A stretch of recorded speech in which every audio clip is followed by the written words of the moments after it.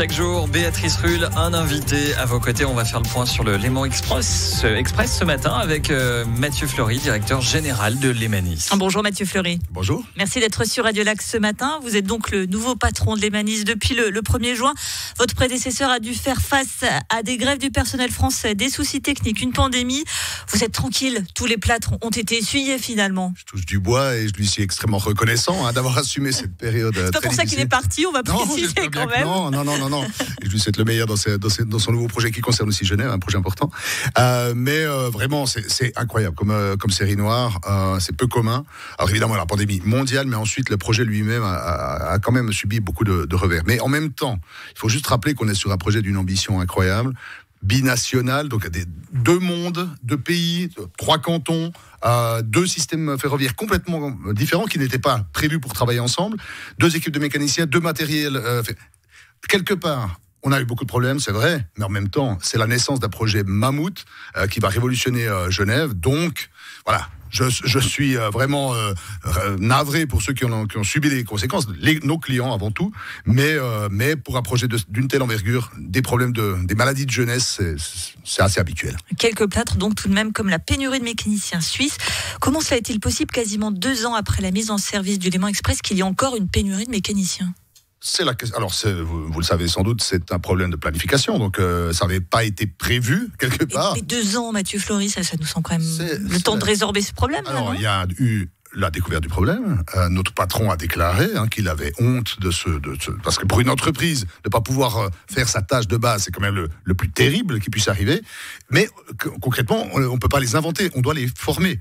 Donc le délai dont vous parlez, c'est un délai de formation. Donc euh, les, volets arrivent mois après mois et on, on me dit qu'en octobre, une volée importante arrive et que justement, on pourra espérer vraiment une... Vraiment, une fin des problèmes avec assez de mécaniciens. la réponse à votre question, la durée est liée à la formation des mécaniciens. L'élément express qui est censé favoriser la mobilité douce, nous sommes d'accord? Ah oui, nous sommes bien d'accord. Et donc, pour ceux qui ont un vélo, qui prennent le Léman Express, ils doivent payer un passe vélo. On a connu quand même plus incitatif pour la mobilité douce. Alors le vélo a, pris de court toute la branche des, transports publics. Son explosion euh, comme moyen de transport, non pas seulement de loisirs, mais professionnel. Et c'est vrai que les trains ne sont pas faits pour transporter les vélos, mais, mais pour transporter les, les, personnes. Et les, les, structures ne sont pas prêtes. Les, le matériel, la place n'est pas suffisante pour les vélos. C'est une plainte qu'on connaît, qui est légitime, bien sûr.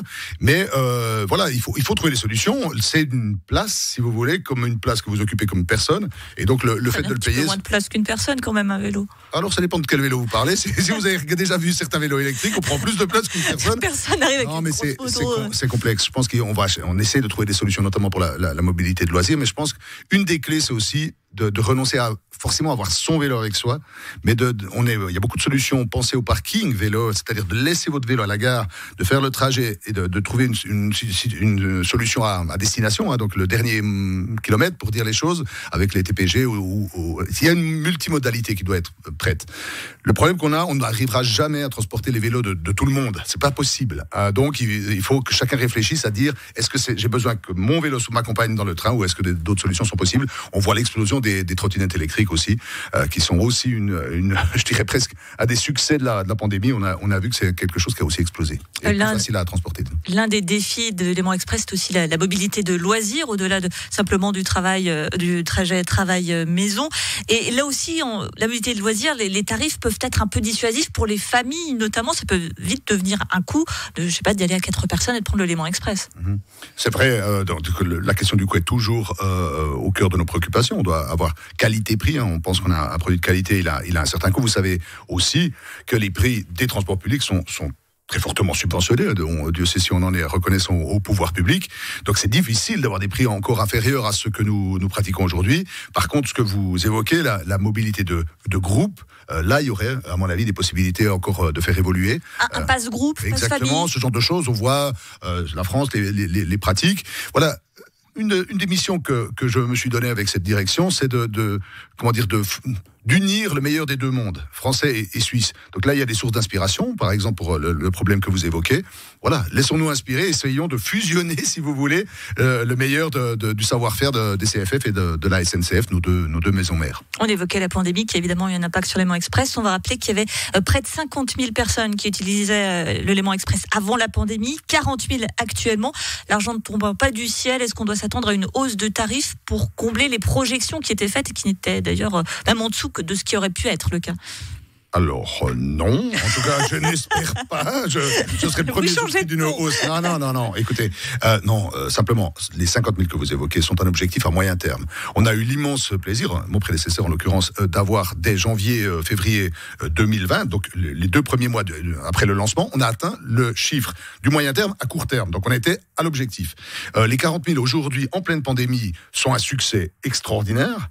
et donc non, non, on n'est pas à dire. Aujourd'hui on est à 45 000 à peu près. Hein, voilà alors c'est plutôt l'objectif à, à, court terme. Mais nous, le problème que nous n'avons aucun recul. Nous n'avons pas de, de, réalité. On n'a encore jamais vécu une année normale. Vous l'avez souligné.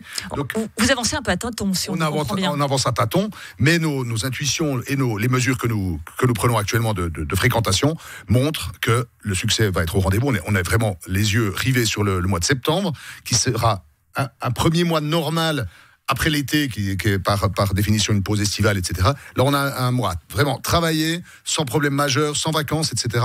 On verra, on verra ce qui se passe.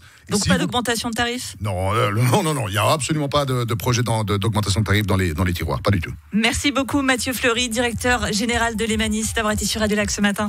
Mon plaisir.